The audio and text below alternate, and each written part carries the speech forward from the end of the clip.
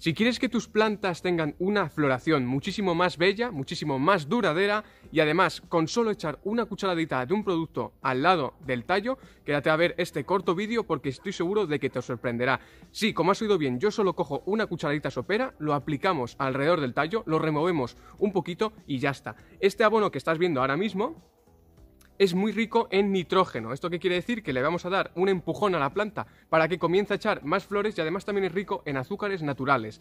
También, ¿esto qué quiere decir? Le estamos dando a la planta azúcares que ya de por sí las plantas cogen su propio azúcar mediante la fotosíntesis, pero si se lo aplicamos también con este abono casero sólido, eh, le estamos dando otro empujón para que las flores resalten más sus colores y que además duren muchísimo más.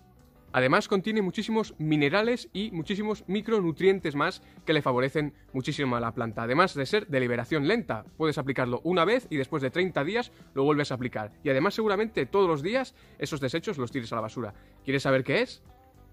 Bueno, aquí está el abono sólido, que ahora mismo lo explicaré, se lo voy a echar a estos narcisos que están en plena floración y quiero que les dure muchísimo más. Lo recomendable es echar una cucharadita sopera por cada tallito de planta, ¿veis?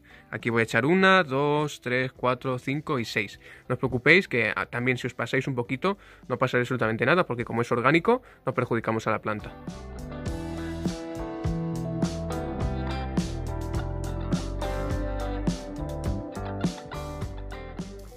Cogemos la cucharadita, lo dejamos así caer, lo troceamos y lo mezclamos un poquito con la tierra para que lo absorba las raíces. Y estamos hablando de los restos del café. Los restos del café, una vez hagáis café, los de la cafetera, yo muchas veces, los voy aplicando aquí.